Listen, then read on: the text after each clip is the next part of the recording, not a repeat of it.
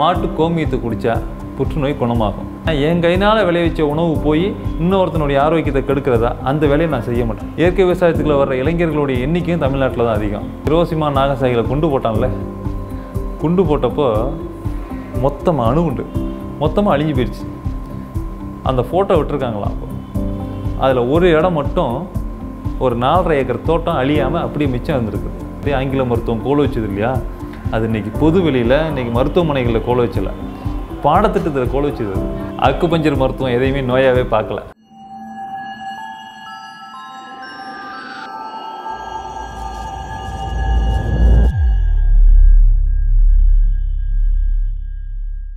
நலந்தானா நிகழ்ச்சியில் இன்று நம்மோடு அக்குபஞ்சரிஸ்ட் எங்கல்ஸ் ராஜா அவர்கள் நம்மோடு இணைந்திருக்கிறார். அவரோட இயற்கை மருத்துவம் பற்றி விரிவாக விவாதிக்க போகிறோம் வணக்கங்க சார்.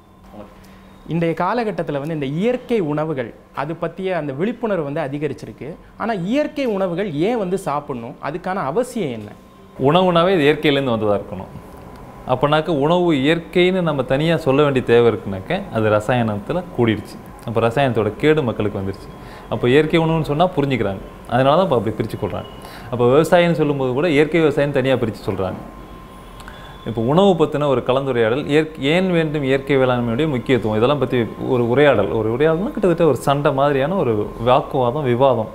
அப்படி நடக்கும்போது நம்மாழ்வாருடைய விவாதம் மேடை அது.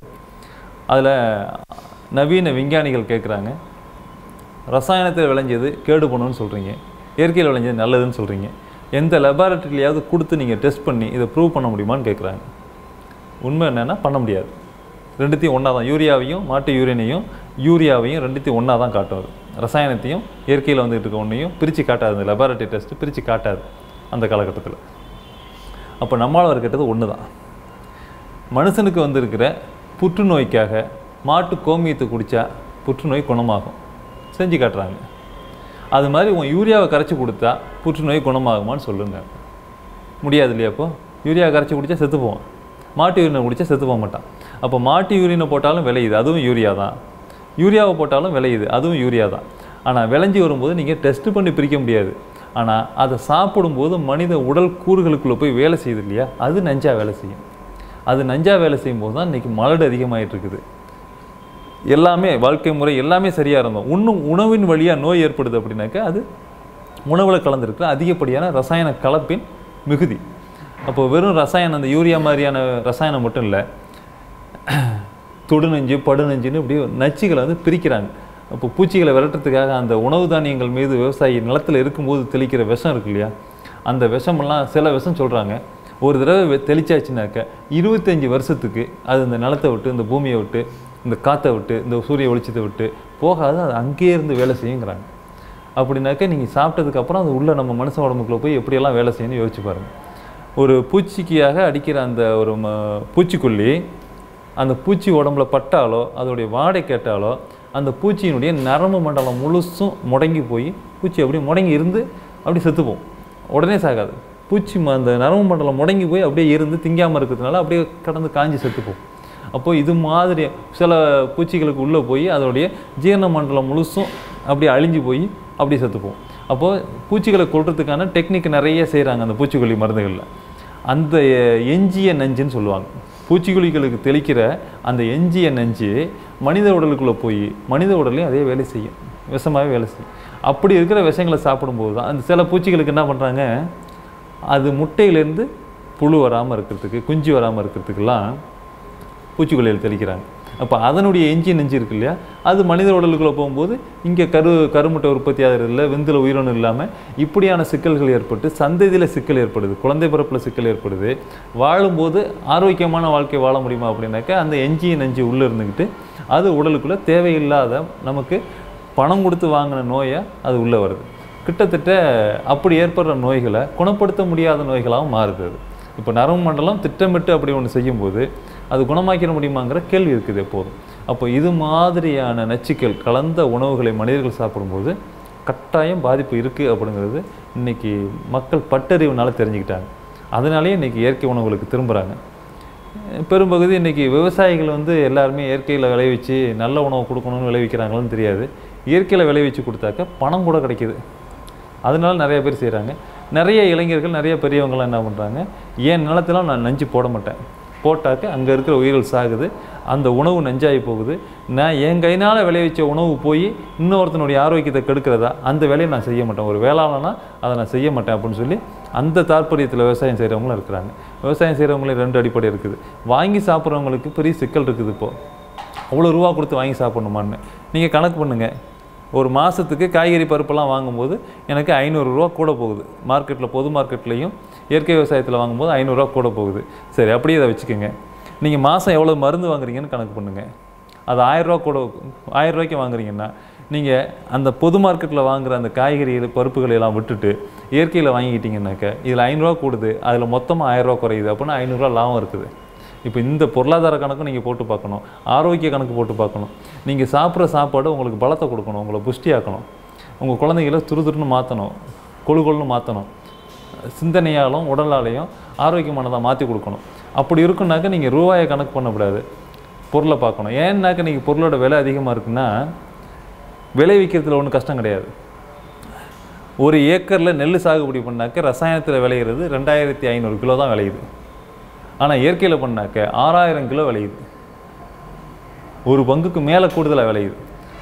இயற்கை விவசாயி பண்ணுற செலவில் ரெண்டு மூணு மடங்கு அதிகமாக ரசாயன விவசாயி செலவு பண்ணுறாரு அப்போனா எல்லாமே அவங்களுக்கு தான் அதிகம். செலவு அதிகம் வருவாய் குறைவு. இயற்கை விவசாயிக்கு செலவு குறைவு வருவாய் அதிகம். அப்படி இருந்து ஏன் பொருள் இவ்வளோ விலைக்கு போகுது அப்படிங்கிற கேள்வி எல்லார் மண்டைக்குள்ளும் இருக்குது. சென்னையில் சாப்பிட்ற நெல் அரிசி சென்னையில் விளையலை. திருநெல்வேலியில் பண்ணாலும் அங்கேருந்து இங்கே பஸ்ஸில் போட்டு அனுப்புகிறாரு அவர் யாருக்கெல்லாம் விற்கணும்னு யாரோ ஒருத்தர் கேட்குற வரைக்கும் அதை வச்சிருக்கிறார் இல்லையா? வந்தவொடனே மொத்தமாக விற்க முடியலை. அப்போனாக்க சில்லற சில்லறையாக விற்கும்போது அதை வைத்திருப்பதற்கான அந்த காலமும் அது பிரயாணத்துக்கான அந்த காலமும் நீங்கள் இருபத்தஞ்சு கிலோ அரிசியை கொண்டாந்து பஸ்ஸில் வைக்கணுன்னாக்க அதுக்காக ஒரு பதினஞ்சு கிலோமீட்டர் ஒரு பைக் எடுத்து வர வேண்டியிருக்கும். அதுக்காக தனியாக புக் பண்ண வேண்டியிருக்கும். அதுக்காக ஒரு வேலையை போட்டு வர வேண்டியிருக்கும். மொத்தமாக வித்தாருன்னா அது கிடையாது. இப்படி சில இந்த பயண செலவு மற்ற வேலை நேரம் இதெல்லாம் சேர்ந்து தான் அதனுடைய விலை உயருதே தவிர விலையை கூட்டி விற்கணும்னு விற்கிறாங்க அப்படி தெரியலை. ஆனால் இது உலகம் முழுசுமா இந்தியா முழுசும் இப்போ தமிழ்நாடு முழுசும் ஒவ்வொரு கிராமத்துக்குள்ளாரவும் எல்லாருமே இயற்கை விவசாயம் பண்ணிடுறாங்க அப்படின்னா எல்லா மார்க்கெட்டுக்கு வரப்போகிறது இயற்கை விளைஞ்சு தான் வரப்போகுது. அப்போ எல்லா மக்களும் இயற்கையில் விளைஞ்சது சாப்பிடும்போது உணவினால் ஏற்படக்கூடிய நோய் நூறு சதவீதம் தவிர்க்கப்படும் அப்படிங்கிற நிலை சீக்கிரம் ஏற்படணும். அது நம்ம தமிழ்நாட்டில் ரொம்ப சீக்கிரம் அது நம்மாழ்வார் வாழ்ந்து போன அந்த பூமியில் அது சீக்கிரம் இந்த ரீச் வந்து மற்ற மாநிலங்களில் கிடையாது. இயற்கை விவசாயத்துக்குள்ள வர்ற இளைஞர்களுடைய எண்ணிக்கையும் தமிழ்நாட்டில் தான் அதிகம். அப்போது இந்த ரீச்சுங்கிறது இன்னும் ரொம்ப சீக்கிரத்தில் எல்லாருமே தமிழ்நாட்டில் வாங்கி சாப்பிட்ற எல்லா உணவும் இயற்கையில் விளைஞ்சதாக இருக்கும் அப்படிங்கிறத நம்புகிற அளவுக்கு இயற்கை விவசாயம் தமிழ்நாட்டில் அதிக உணவை உற்பத்தி பண்ணி மிதமிச்சமாக மாற்றிடுங்கிற நிலை இருக்குது. அதனால் இயற்கை செயற்கைங்கிற பிரிக்கிற காலகட்டங்கிறது இன்னும் ஒரு பத்து பதினஞ்சு வருஷத்தில் தமிழ்நாட்டில் இல்லாமல் போகும். இப்போ ஆங்கில மருத்துவம் வந்து கோலோச்சிட்டு இருக்கு இந்த நேரத்தில். மாற்று மருத்துவத்துடைய நிலை தான் என்ன? அதை பற்றி கொஞ்சம் சொல்லுங்கள் உங்களுக்கு கணியன் பூங்குன்றனார் தெரியும் இல்லையா? அவர் என்ன சொல்கிறாரு தீதும் நன்றும் பிறர் தர வாரா. நோதலும் தனிதலும் அவற்றோட என்ன அப்படிங்கிற நோயுறுதலும் நோய் தணிஞ்சு போகிறதும் அவங்கவங்கள்ட்ட இருக்குது. அது எப்படி இன்னொருத்தர்கிட்ட சொல்லுவீங்கன்னு சொல்லுது இப்போது மாற்று மருத்துவங்கள் அப்படிங்கும்போது இன்னைக்கு ஆயுஷ்குள்ளே இருக்கிற மருத்துவம் இருக்கு இல்லையா? சித்தா யுனானி இதெல்லாம் இருக்கு இல்லையா? ஆயுர்வேதம்லாம் இருக்கு இல்லையா? இதனுடைய பானம் எப்படி உருவாயிருக்குன்னு நீங்கள் கொஞ்சம் யோசிக்கணும்.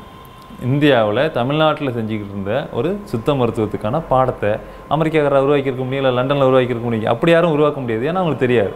அப்போ சித்த மருத்துவத்தை நீங்கள் பாடமாக உருவாக்கணும் அப்படின்னாக்கா இங்கே இருக்கிற பாரம்பரியமாக காலங்காலமாக சித்த மருத்துவம் செஞ்சுக்கிட்டு இருந்தவங்களை வச்சு தான் நீங்கள் சித்த மருத்துவத்தை உருவாக்க முடியும்.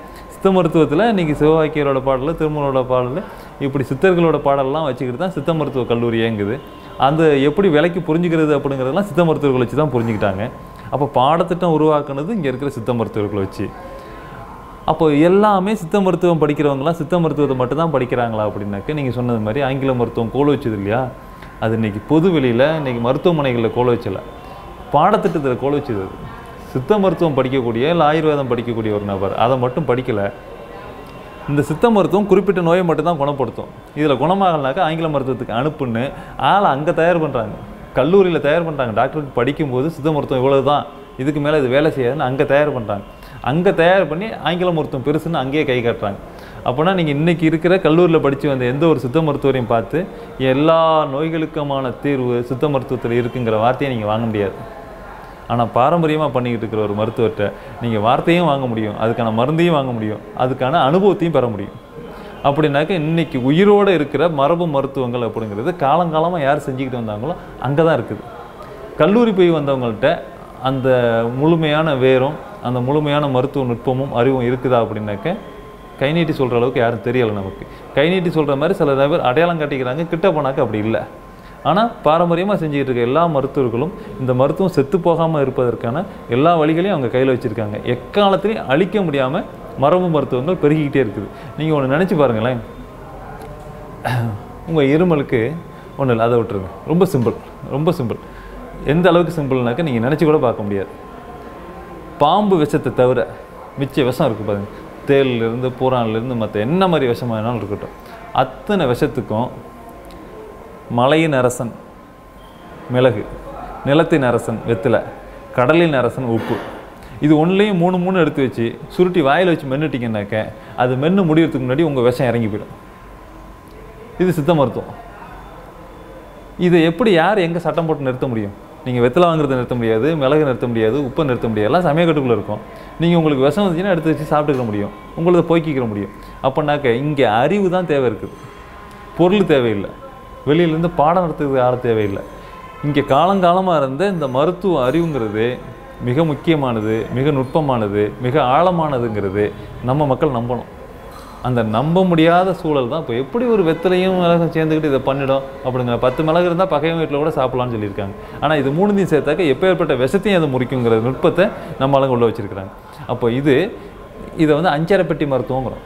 வீட்டு மருத்துவம் பெண்கள் கையில் செய்கிறது சின்ன குழந்தைங்கள்ட்ட சொன்னால் செஞ்சுட்டு போயிடும் அப்போ இது எங்கே பார்த்தாலும் போய் சேர வேண்டிய சேர்க்க வேண்டிய தேவை நம்ம மாதிரியான ரைஸ் மாதிரியான இந்த குழுமங்களுக்கு இருக்குது. இது கையில் எடுக்கணும் இது. இப்போ ஆங்கில மருத்துவம் கோல வச்சதுன்னு நம்மலாம் சுட்டி காட்டி சொல்லிகிட்டு இருக்க நிலையில் இல்லை. நம்ம தமிழ் மரபை மீட்டு எடுக்கணும் மா பாரம்பரியத்தை மீட்டு எடுக்கணுங்கிற அந்த துடிப்பில் இருக்கிற நாம அந்த தெளிவில் இருக்கிற நாம இப்படி மிக ரொம்ப சின்னதாக இருக்கக்கூடிய இந்த மருத்துவ நுட்பங்களை எல்லா பெண்களுக்கும் எல்லா வீட்டுக்கும் சொல்லி கொடுத்துடணும். நம்மனா கையேடு போடணும் நிகழ்ச்சிகளை துவக்கணும் நமக்கு வாய்ப்பு இருக்கிற இடங்கள்லாம் அதை அது சொல்லணும். சொல்லி மரபு மருத்துவங்கிறது பெரிய சிக்கலான விஷயம் இல்லை. ரொம்ப சின்னது ரொம்ப எளிமையாக புரிஞ்சிக்கக்கூடியது மறந்து போகக்கூடியது இல்லை குழப்பிக்கிறதுக்கு ஒன்றும் இல்லை அப்படிங்கிறத நம்ம புரிய வச்சுட்டோம்னாக்க நம்ம மருத்துவம் தான் கோல வச்சு. நீங்கள் எங்கேயும் தீர்க்க முடியலை அப்படின்னாக்க நீங்கள் எவ்வளோ செல்வந்தர் இருக்கிறார். போய் எங்கெங்கேயோ பார்க்குறாங்க கேன்சர் இன்ஸ்டியூட் எல்லாம் போய் பார்க்குறாங்க பார்த்துட்டு கடைசியாக போய் அந்த ஆனைக்கட்டிக்கு பக்கத்தில் தானே மருந்து வாங்கி குடிக்கிறாங்க. அங்கே குணமானதுனால தானே எம்ஜிஆர் அவங்களுக்கு நிலத்தை ஒதுக்கி கொடுத்துருக்கிறாரு. அப்படின்னாக்கா இதை நீங்கள் யோசிக்கணும். எங்கும் இல்லை கடைசி கடைசியாக வந்து தஞ்சமடையும் இடம் அப்படிங்கிறது ஆங்கில மருத்துவமாக சொல்லப்பட்டுக்கிட்டு இருக்குது ஆனால் அப்படி இல்லைங்கிறது தான் இன்றைக்கி நீங்கள் கண்கூடாக பார்க்குறது. எங்கும் கைவிடப்பட்டதுக்கு பிறகு தஞ்சமடைகிற இடம் மரபு மருத்துவமாக இருக்குது. அப்போ துவக்கத்திலே மரபு மருத்துவத்தை கையில் எடுக்கணும் மரபு மருத்துவத்தில் இருக்கணுங்கிற அந்த அறிவும் அந்த விழிப்புணர்வும் மக்களுக்கு இருந்தால் போதும். இது தலைகளாக மாறி போகும். இப்போ அக்குப்பஞ்சர் வந்து ப்ராக்டிஸ் பண்ணுறீங்க இந்த அக்குப்பஞ்சர் மருத்துவத்தில் என்ன மாதிரியான நோய்களை எல்லாம் தீர்க்கலாம் அப் டு த மேக்ஸிமம் என்ன நோய் தீர்க்கலாம் அக்குபஞ்சர் மருத்துவம் எதையுமே நோயாகவே பார்க்கல. என்னவா பார்க்குதுனாக்க உடலில் இருக்கிற சீர்கேடாக பார்க்குது. அப்போ எந்த மாதிரியான உடலுக்குள்ளே எந்த மாதிரியான சீர்கேடு வந்துச்சுனாலும் அதை சீர் பண்ண முடியும். இப்போ நீ நோயின்னு நீங்கள் பேர் வச்சுக்கிட்டு இந்த நோயெல்லாம் இந்த பேரெல்லாம் சரி பண்ண முடியுமுனாக்கா அந்த பே பேரெல்லாம் பேப்பரில் தான் சரி பண்ண முடியும். ஏன்னா அந்த பேர் வச்சவங்க எங்கேயே இருக்கிறாங்க? அவங்க சரி பண்ணோம்னா அந்த பேப்பரில் தான் எழுதுவாங்க. இப்போ நார்மல் எழுதுறது பேப்பரில் தான் எழுத முடியும். இப்போ சுகர் நார்மல்னு உங்களுக்கு ரிப்போர்ட் கொடுத்துட்றாங்க உங்கள் உடம்புல நார்மலாக இருக்குதுன்னு நினைக்கிறீங்களா? அப்படி இருக்க முடியாது. பேப்பரில் நார்மல் சந்தோஷமாக இருக்கிறாங்க.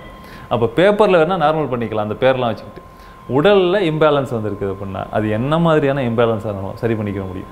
இப்போது உங்களுக்கு தலைவலி வந்திருக்குது வயிற்று வலி வந்திருக்குது கால் முட்டி வலி வந்திருக்குது தூக்கம் இல்லை ஜீரணம் இல்லை இப்படி என்னமோ தொந்தரவு இருக்குது. இது எல்லாத்தையும் சரி பண்ணிக்கிற முடியும்.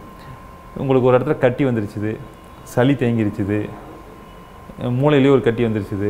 அப்போ இதெல்லாத்தையும் சரி பண்ணிக்கிற முடியும். இதெல்லாம் இம்பேலன்ஸ் கடவுள் இல்லை இயற்கை உங்களை படைக்கும்போது உங்களை ஒரு வடிவத்தோடு படைச்சிச்சு. நீங்கள் உணவு எடுத்து நீங்கள் உடலால் பெருக்கும்போது ஏதோ ஒன்று முன்ன பின்ன பெருத்துறாமல் அது அதுவும் பெருக்க வேண்டிய ரேஷியோட பெருக்குது. இதில் எங்கேயோ முரண் ஏற்படுது இல்லையா? அப்போ தான் கட்டியோ மற்றதோ ஏற்படுது. அப்போது இது வெளியிலிருந்து கொடுக்கக்கூடிய ஒரு உந்துதலோ அல்லது நம்ம எடுக்கிற உணவோ நம்ம வாழ்க்கை முறையினாலேயோ ஏற்படக்கூடிய ஒரு தடுமாற்றத்தின் விளைவு அது. அப்போ வாழ்க்கை முறையில் என்னத்தை மாற்றணும் உணவில் என்னத்தை மாற்ற வேண்டியிருக்கும்? என்ன சிகிச்சை கொடுக்கணும் அப்படிங்கிறத கொடுத்துட்டோம்னாக்க உடலில் மனசில் ஏற்பட்டிருக்கிற என்ன மாதிரியான ஏற்ற இறக்கங்களும் முற்றிலுமாக குணமாகும் குணமாகாது அப்படிங்கிற நோய் மனிதர்களுக்கு வருவதே இல்லை அப்படிங்கிறது தான் அக்குமஞ்சரோட புரிதல் சித்த மருத்துவத்தோட புரிதல். பாரம்பரிய மருத்துவங்கள் அத்தனையும் புரிஞ்சிருக்குது என்னன்னாக்க மனுஷனுக்கு வர்ற நோய் அத்தனையும் குணமாகும். குணமாகாததுக்கு நோய் வர்றதில்லை. மனுஷனுக்கு குணமாகிறதுக்கு தான் நோய் வருது. நோய் வரும்போது தான் மனுஷன் சில விஷயத்தை உணர்றான். அதுக்காக கூட நோய் வருதுன்னு புரிஞ்சுக்குது இப்போ இயற்கை முறை வாழ்வியல் பற்றி நிறையவே பேசுகிறீங்க இயற்கை முறை வாழ்வியல் வந்து சாத்தியமில்லை அப்படின்னு சொல்லிட்டு நிறைய பேர் சொல்லிட்டு இருக்காங்க. இந்த முரணான கருத்துக்களை எல்லாம் முன்வைக்கிறாங்க. உண்மையிலே அது சாத்தியமா சாத்தியம் இல்லையா இப்போ நாங்கள் என்ன சொல்கிறோம்னா நிறையா இருக்குது நிறையா நீங்கள் இயற்கை வாழ்வியலுக்குள் நிறையா போக முடியும். நீங்கள் பைக்கெல்லாம் எடுக்காமல் கார்லாம் எடுக்காமல் காலில் ஏறினா மாட்டு வண்டியில் போக முடியும் குதிரையில் போக முடியும். அதெல்லாம் போக முடியும். அதெல்லாம் நீங்கள் செய்ய வேண்டாம். ரொம்ப சிம்பிளாக செய்கிறதுக்கு சிலது இருக்குது. அது நாலு இது சொல்கிறோம் ஒன்று என்ன சொல்கிறோம்னா முன்னேரத்தில் தூங்குங்க. முன்னேறவில் தூங்குங்க. ரெண்டாவது உங்களுக்கு வயிற்றில் பசி எடுக்கும்போது சாப்பிடுங்க. பசி இல்லாமல் சாப்பிடாதீங்க. சாப்பிட்டது ஜீரணமாகி மறுபசி வந்ததுக்கப்புறம் சாப்பிடுங்க. மருந்து அதிகாரத்தில் வள்ளுவர் சொல்கிறது தான் திரும்ப சொல்கிறோம் தனியாக சொல்லலை. மூணாவது என்ன சொல்கிறோம்னாக்க தண்ணியை எப்போதும் கையில் பாட்டில் வச்சுக்கிட்டு குடிச்சிக்கிட்டே இருக்கிறாங்க. அப்படி குடித்தாக்க நியூரான்ஸோட அளவு இம்பேலன்ஸ் ஆகி போய் மனுஷன் மூளை கெட்டு போயிடுவான்னு சொல்லுது. அதனால் தண்ணியை கூட தாகம் எடுத்தால் தான் குடிக்கணும். மூ நாலாவதாக உடல் எப்போதும் களைச்சி போச்சுன்னா ஓய்வு கேட்குது. அந்த ஓய்வை கொடுங்க. இந்த நாலு செஞ்சிங்கன்னாவே நீங்கள் உடலுக்கான இயற்கை வாழ்வியலில் தான் இருக்கீங்க. இந்த நாலு செய்யறதுல யாருக்கும் கஷ்டம் இருக்க முடியாது. ஆனால் இதை தாண்டி இயற்கை வாழ்வியல் சாத்தியமில்லையே வாழ முடியாது. இப்போ அந்த கிரேட்டா துன்பர்க் பேசினதுக்கு ரஷ்ய அதிபராக தான் பேசியிருக்கிறாரு. இந்த பொண்ணு இந்த வளர்ச்சி தெரியாமல் இந்த நவீன உலகம் தெரியாமல் பேசிக்கிட்டு இருக்குன்னு சொல்கிறாங்க அவருக்கெல்லாம் தெரிஞ்சிருக்கட்டும். ஆனால் மடியபுரத்தில் முத ஆளாக அந்த பட்டியலில் இருக்கவங்க தான் இருப்பாங்க. நீங்கள் இன்றைக்கி இயற்கை வாழ்வியலுக்குள்ள வர முடியாது இயற்கை வாழ்வியல் கடினம் இல்லை அப்படிங்கிறாங்க. கல்யாணம் ஆகி ஏழு வருடம் ஆச்சுங்க. குழந்தை இல்லை அப்படின்னு எல்லா மருத்துவமும் பார்த்துட்டு கடைசியாக இயற்கை மருத்துவத்துக்கோ அக்குமஞ்சருக்கோ வரும்போது நாங்கள் இப்போ கண்டிஷன் போடுறோம். நீங்கள் ராத்திரி எட்டு மணிக்கு படுக்கணும். ரெண்டு வேளை தலை குளிக்கணும். பசி எடுத்தால் தான் சாப்பிட்ணும். தாகம் எடுத்தால் தான் தண்ணி குடிக்கணும். உடம்பு ஓய்வு கேட்கும்போது தான் கொடுக்கணும். செஞ்சிங்கன்னா குணமாகும் குழந்தை பிறக்கும். இல்லைன்னா இது உங்கள் விருப்பம் அப்படிங்கிறோம். இப்படி செய்யலைன்னா குழந்தை பிறக்காதுன்னு தெரிஞ்சதுக்கப்புறம் செய்கிறாங்க இல்லையா? இப்போ இந்த நிர்பந்தத்துக்குள்ளே வந்து மாட்டிக்கிறாங்க. இது அவங்கள நிர்பந்திக்கிறதுக்காக நம்ம சொல்கிறது இல்லை இதுதான் அவங்களுக்கு இருக்கிற ஒரே வழி. இப்படி மனுஷன் ஒவ்வொருத்தருக்கும் ஒரு இக்கட்டான முட்டு சந்து வந்து சேரும். முட்டு சந்துக்கு அப்புறம் எங்கேயும் போக முடியாது. இயற்கை வாழ்வியலை கடைப்பிடிச்சி தான் ஆகணும். இவ்வளோ வளர்ச்சி பேசுகிறாங்க இல்லையா? இப்போ இன்னைக்கு டீசல் இல்லை பெட்ரோலுக்கு போங்கிறாங்க பெட்ரோல் இல்லை எலக்ட்ரிக்கு போங்கிறாங்க. எலக்ட்ரிக்கு போகிறதுக்கு கூட அதுக்கு நிலக்கரி வேணும் நிலக்கரி போட்டு எரிக்கணும். எதையோ ஒன்று போட்டு எரிச்சு தானே கரண்ட் வருது. சூரியனுக்கு போகிறாங்க என்னென்னமோ எடுப்பாங்க இப்போ. அந்த குப்பையெல்லாம் கொண்டு எங்கே கொட்டுவாங்க? இப்போ பேட்டரி வீணாக போகும். அந்த குப்பையை எங்கே கொண்டு போடுவாங்க? அந்த சூரிய சோலார் இருக்கும். அந்த சோலாரோட அந்த பேனல் வேஸ்ட்டை கொண்டு போய் எங்கே போடுவாங்க? எதையோ ஒரு பக்கத்தை குப்பையாக்கிக்கிட்டு தான் இருப்பாங்க. அப்போ இருக்க இருக்க. இந்த நிலமும் இந்த சூழலும் மாசுபடுமே தவிர இந்த மாசு குறைவதற்கான சாத்தியக்கூறுகளை இந்த உலக உலக விஞ்ஞானிகளும் உலக அரசுகளும் யோசிக்கவே இல்லை. மேலும் மேலும் இந்த உலகத்தை பூமி இன்னும் குப்பையாக்குறது கடலை குப்பையாக்குறதுக்கு தான் யோசிக்கிறாங்க. அப்படி குப்பையாக்கிக்கிட்டே போகும்போது அவங்க சொல்கிறது மாதிரி இயற்கை வாழ்வியலுக்கு சாத்தியம் இல்லை ஆனால் இது ஒரு நாள் அழியும்.